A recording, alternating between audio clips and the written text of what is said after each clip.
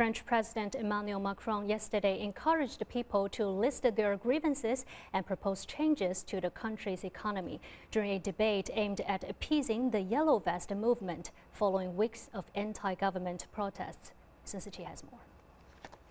Macron formally launched a three month national debate during a meeting with about 600 mayors and local officials in Grand Bourgtheroulde, a small town in Normandy.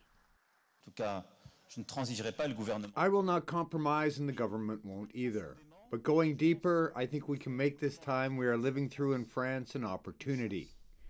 In a long letter addressed to the French people and published by his office late on Sunday, Macron invited discontented people to participate in the debate, during which a series of questions over taxes, green energy, institutional reform, and citizenship will be discussed during meetings in town halls across French cities.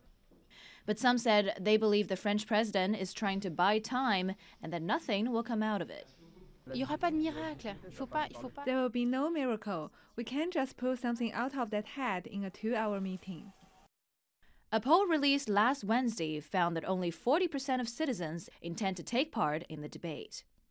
The Yellow Vest protest, born in November last year from discontent over a tax hike on diesel fuel, has expanded to encompass demands for wider changes to France's economy. Sun Siqi, Shanghai Live.